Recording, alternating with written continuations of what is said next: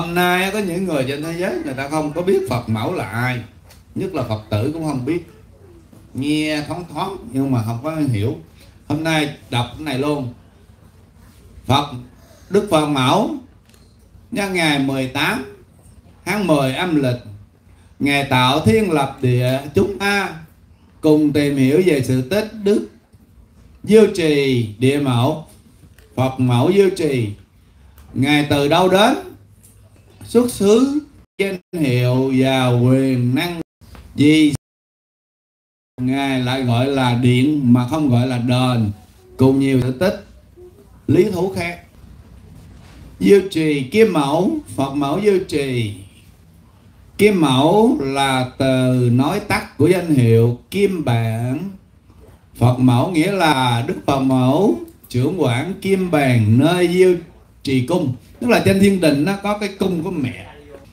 Số 1 đức phật mẫu là ai? Theo vũ trụ quan, khi chưa có trời đất, còn trong thời kỳ hỗn mang. Trong vũ trụ, chỉ có một chất khí hỗn độn, mà mờ mịt mịt, lặng lẽ, vô vi, thanh trượt, hỗn hợp, nhưng vô cùng quyền diệu gọi là khí hư vô, còn gọi là tiên thiên hư vô chi khí. Khí hư vô ấy lần lần ngưng ngưng kết nói, ngưng kết rồi nổ ra một tiếng thật lớn. Sinh ra một khối đại linh quang cũng gọi là thái cực. Trọn lành, trọn tốt, toàn tri toàn năng, thiên biến dạng hóa, vô tận, vô cùng. Vũ trụ từ đây bắt đầu có một ngôi thái cực duy nhất và đại hồn của một đấng duy nhất được gọi là Ngọc Hoàng Thượng Đế. Trong vũ trụ ngày xưa vậy mà chúng ta thường gọi là Đức Chí Tôn.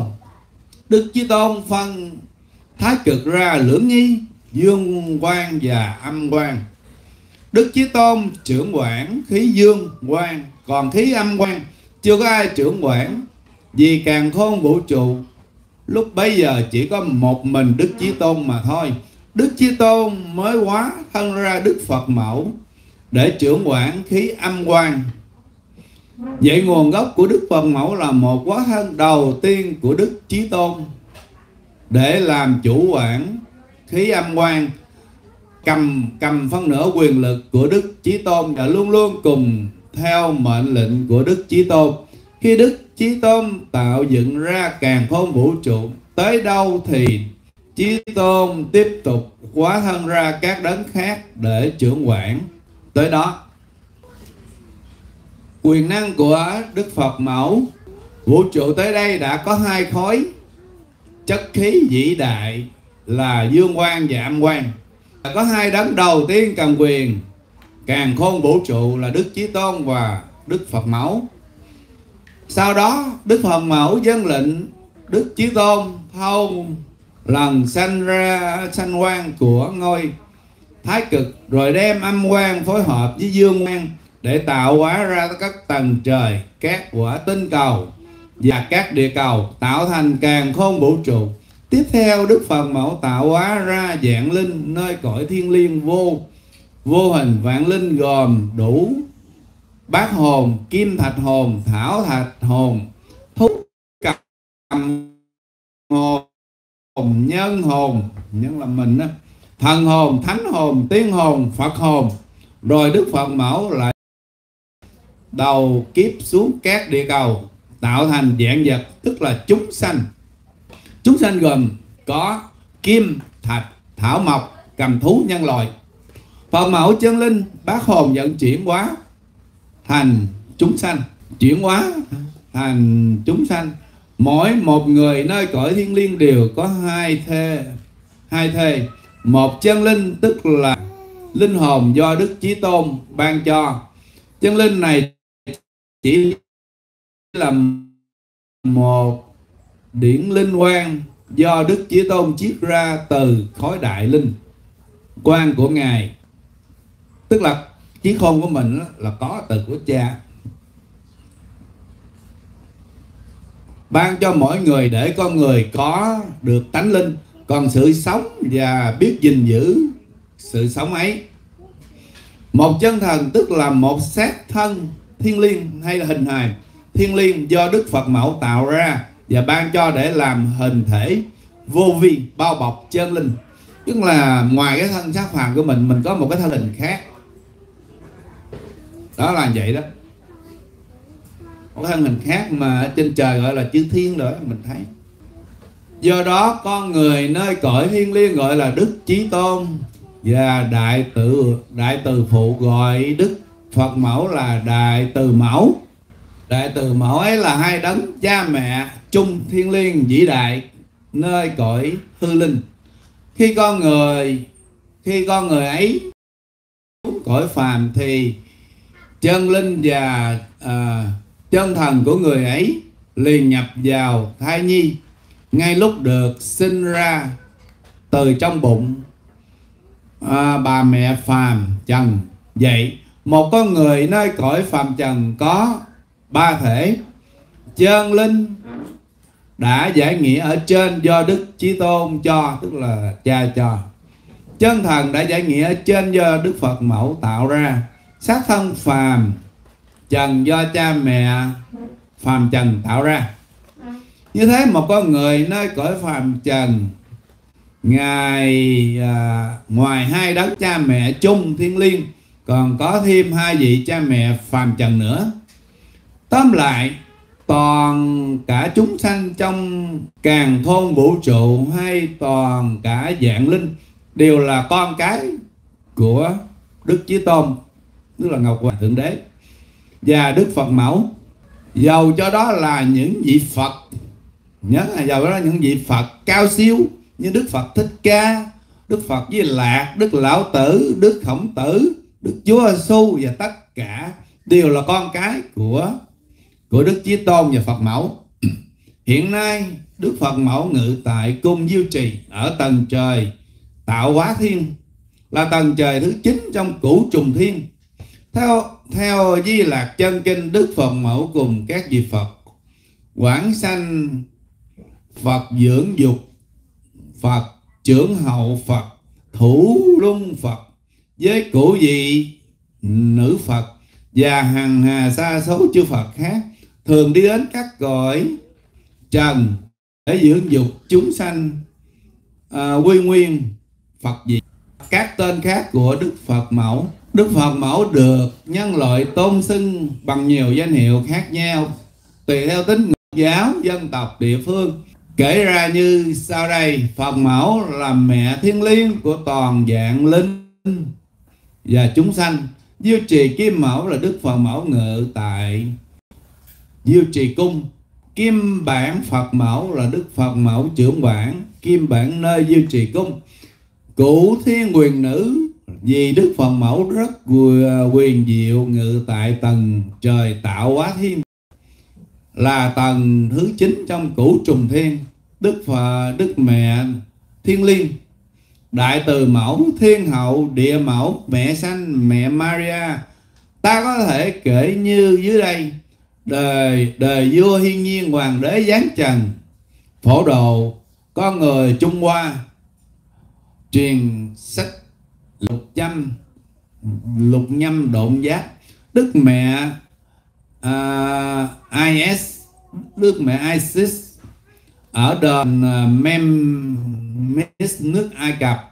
Tay cầm thiên bát xanh dạng nhật thiên hậu hera Juno nghiêm trang ngự trị trên.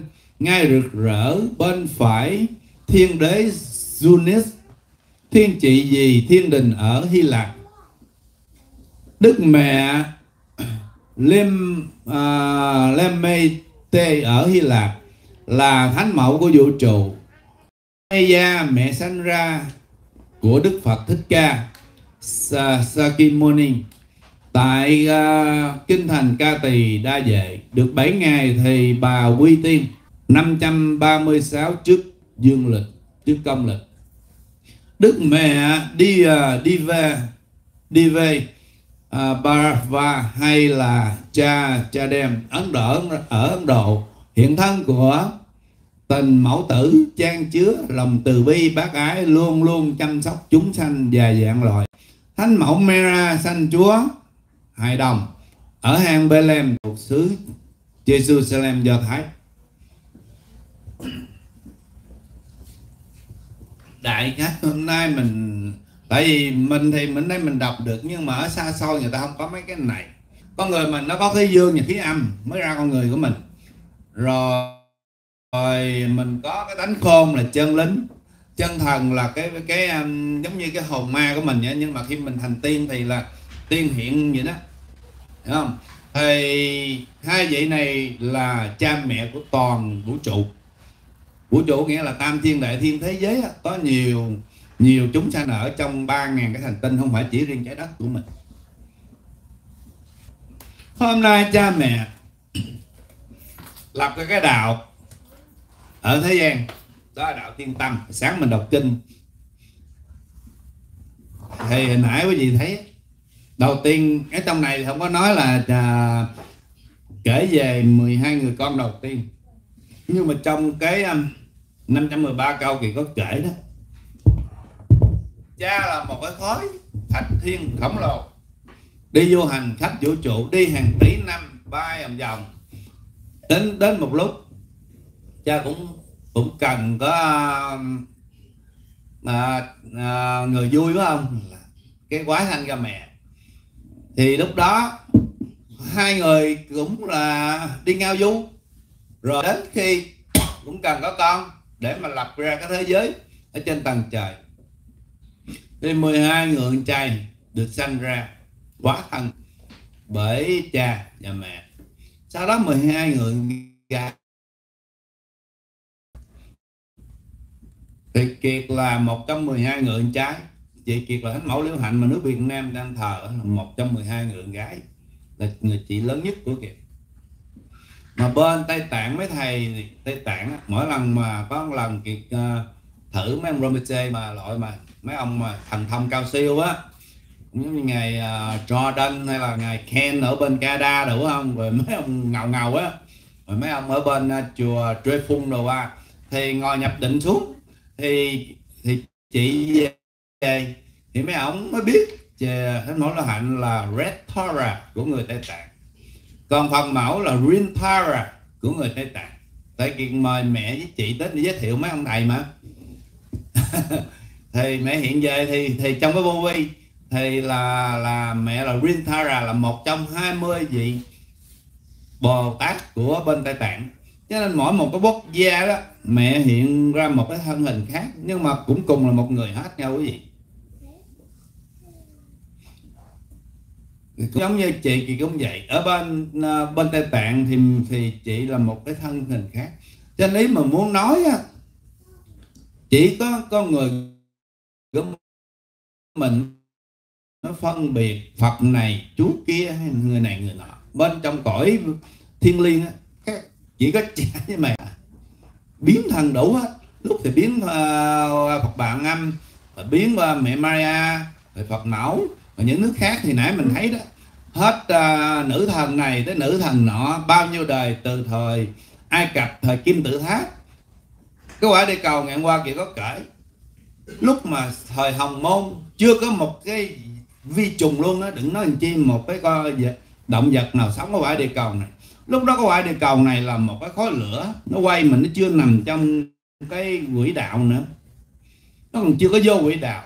Thì lúc đó đó là kiệt ở trên tầng trời thứ 11 thì cũng đang làm việc thôi. Thì con với cha mà, cha đi. Có lúc thì cha kêu xuống hành tinh này, có lúc xuống hành tinh mấy người xám thì có lúc ở tầng số 6 có lúc tầng 11 tức nghĩa là chỗ nào có chuyện thì phải đi làm. Thì lúc đó kiệt đang ở tầng thứ 11 thì kiệt thấy quả địa cầu này nó cháy đỏ. Giống như nó là một cái dân vậy một cái tuổi trẻ nhất trong cái dãy ngân hàng. Trái đất của mình à. thì lúc đó, từ đó thì kiện mới dùng thần thông. Kiệt trên trời kiện có thần thông dữ lắm. Thì mới có duyên, thì mới có ngày hôm nay ngồi đây. Và đồng thời không phải tái sanh một kiếp làm người nữa, mà rất là nhiều kiếp luôn. Cái quả địa cầu này có hàng tỷ năm. Những nhà bác học giàu cho giỏi nhất như ông đây bên ngày xưa, nó con người từ khỉ. Mà hôm nay á, đã dạy qua biết bao nhiêu triệu triệu PhD tiến sĩ, như mấy nhà professor, giáo sư mà hôm nay lại sai hết. Cái đó là một trong năm loại mà mình nói, kiến cạnh hôm nay cả cái thế giới này ở vào cái thời bế tắc.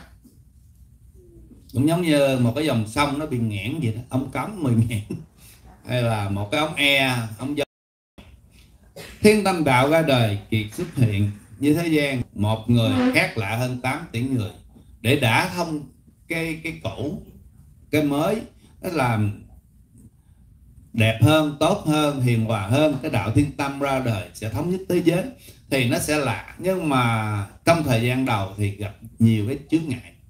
Bởi những những cái gọi là theo ờ, cái lối cũ của những cái kinh điển của thế gian.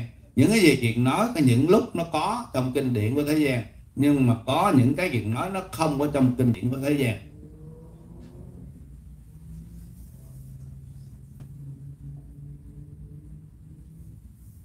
Hồi sáng thì mình đã so sánh. Sau này chỉ có đạo thiên tâm là từ bi, thống nhất thế giới để và đồng thời chỉ có đạo thiên tâm là thoát luân hồi sanh tử, cùng song song với đạo phật. Còn những bên, những cái đạo khác đều phải à, quy, phải có vô nhà thờ, phải có giáo chủ, phải có ông cha, phải có vua già còn những cái đạo hồi á, là nó theo mấy lãnh đạo của nó. Thằng ông lãnh đạo nào làm à, tổng thống à, như tổng thống Iran là coi luôn đạo luôn vậy đó. Thì là giáo chủ của một quốc gia luôn. Quá cực đoan đi, không có đúng nữa.